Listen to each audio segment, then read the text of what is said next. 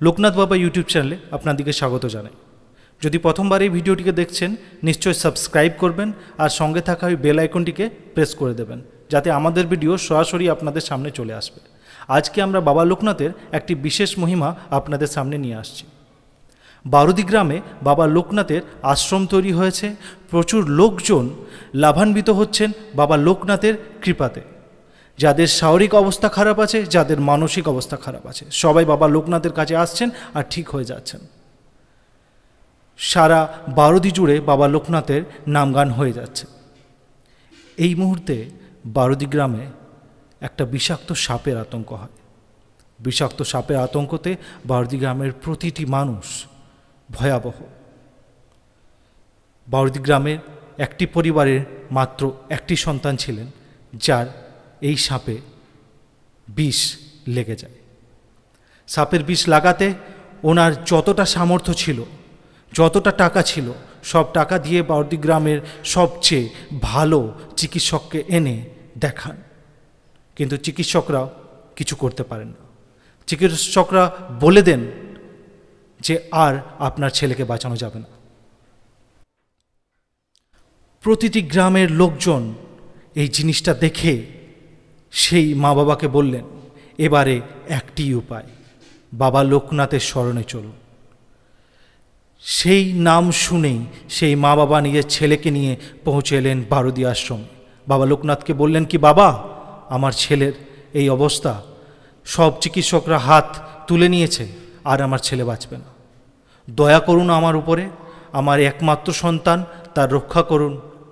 আমি আপনার চরণে পুষ্প আর ফল দেব। বাবা লোকনাথ শুনলেন এই জিনিসটা আর বললেন, ঠিক আছে, তুই চিন্তা করিস না, আমি যাচ্ছি তোর সঙ্গে। কথাই কেটেছিল সাপটা। সাপটা ওনার বাড়িতে কেটেছিল, বাবা লোকনাথ সেই অবস্থাতে সেই বাড়িতে গেলেন আর গিয়ে নিজের হাত ওই ছেলের উপরে রাখলেন। কিছুক্ষণের মধ্যেই সেই অসুস্থ ছেলেটি, যে নিজের মৃত্যুর পর্যায়ে দাঁড়িয়েছিল, সুস্থ হয়ে গেল, দাঁড়িয়ে গেল, কথা বলতে লাগল সব কিছু ঠিক হয়ে গেল। বাবা লোকনাথ চলে এলেন নিজের আশ্রমে। আর এইদিকে সেই মা বাবাটি, যে বাবা লোকনাথের কৃপাতে সেই ছেলেটিকে ভালো করে এনেছিলেন, ভুলে গেলেন কি বাবা লোকনাথই সেই অলৌকিক শক্তি যার জন্য ওনার ছেলে আজকে এই অবস্থাতে আছে। বললেন কি, না, ওসব কিছু না। এই যে চিকিৎসক যার পেছনে আমি এত টাকা খরচ করেছি, তার ওষুধেরই ফলাফল যে আমার ছেলে আজকে সুস্থ আছে। সব কিছু ঠিক চলতে লাগল, বাবা লোকনাথ কিন্তু ভুললেন না। কি বাবা লোকনাথকে বলেছিলেন যে একটা পুষ্প আর কিছু ফল দেব? দুদিনের মধ্যে সেই বিষ আবার শরীরে ছড়িয়ে পড়ল। গোটা শরীর কালো হয়ে পড়ছিল। মা বাবারা বুঝতে পারছে না কি এটা কি করে হচ্ছে। যে ছেলে আমার সুস্থ ছিল, আজ দুদিন ধরে তারপরে বিষের প্রভাব কি করে আসে? গ্রামের লোকজনরা বললেন, কি তুমি অবহেলা করেছ বাবা লোকনাথের শক্তিকে? তাড়াতাড়ি বাবা লোকনাথের কাছে নিজেকে অর্পণ করো।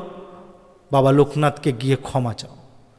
সেই অবস্থাতেই ছেলেকে নিয়ে আবার দৌড়া দড়ি করে আসেন আর বাবা লোকনাথের পায়ে পড়ে বলেন, বাবা, আমাদের ভুল হয়ে গেছে, ক্ষমা করে দিন।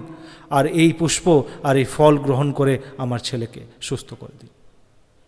বাবা লোকনাথ বললেন, কেন? তোর চিকিৎসক তো একে ঠিক করে দিয়েছিল। আবার আমার মতন ফকিরের কাছে আসা তোর কি দরকার? মা বাবা বুঝতে পারলেন কি বাবা লোকনাথ পছন্দ করেননি, কি আমি কিছু বলেছিলাম আর সেটা আমি দিতে পারিনি বাবা লোকনাথ কোনো দিনও চান না কি তুমি ওকে কিছু দাও, কিন্তু যদি কিছু কথা দিয়েছ কি বাবা লোকনাথ আমার এই মনোকামনা পূর্ণ করবেন, আর এই মনোকামনা পূর্ণ করার দরুন আমি বাবা লোকনাথের কাছে একটা পুজো দেব, বাবা লোকনাথের নাম নেব, বাবা লোকনাথের প্রচার করব। যদি আপনি কিছুও করছেন না আর ভুলে যাচ্ছেন তার মহিমাকে তাহলে বাবা লোকনাথ এটা কোনোদিনও পছন্দ করেন না। তার জন্যে যখনই বাবা লোকনাথের কাছে কিছু চাইবেন, কিছু দরকার নেই, ওনাকে কিছু অর্পণ করার। আর যদি কিছু মন থেকে চেয়ে থাকেন অর্পণ করার, সেটা সেই মুহূর্তেই করুন। বাবা লোকনাথের এই গল্পটি কেমন লাগল নিশ্চয়ই কমেন্ট করে জানাবেন। পছন্দ লাগল লাইক করবেন, বাবা লোকনাথের সব ভক্তদিকে এই ভিডিওটি শেয়ার করবেন। বাবা লোকনাথ কৃপাতে আপনারা সবাই ভালো থাকুন। এই মনোকামনা নিয়ে আজকে বিদায় জানাই।